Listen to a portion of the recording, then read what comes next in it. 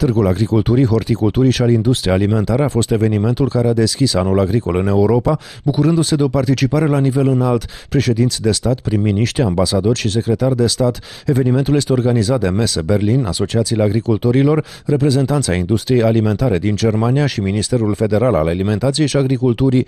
Numărul de vizitatori estimat de organizatori se ridică la 90.000, țara parteneră la acest eveniment fiind Bulgaria. Tema din acest an a târgului de la Berlin este modelarea viitorului producției animale durabil, responsabil și eficient. Produsele înregistrate cu denumire de origine protejată în Uniunea Europeană sunt expuse la standul organizat de Ministerul Agriculturii din România, unde vizitatorii pot degusta produse tradiționale românești înregistrate cu indicație protejată. Membrii asociațiilor din județele care fac parte din filialele locale ale Federației Naționale a Producătorilor de Produse Tradiționale le oferă vizitatorilor spre degustare preparate din lapte, carne, pește și produse de panificație și patiserie, dar dar și țuică și vin. Standul Maramureșului a fost unul dintre cele mai vizitate printre personalități, avându-se și Emil Hurezeanu, ambasadorul României în Germania. Producătorii locali prezenți au reușit să încheie contracte cu oameni de afaceri din țările participante, în timp ce pastrama de oaie, cașul, polenul, micii și pălinca au fost la mare căutare.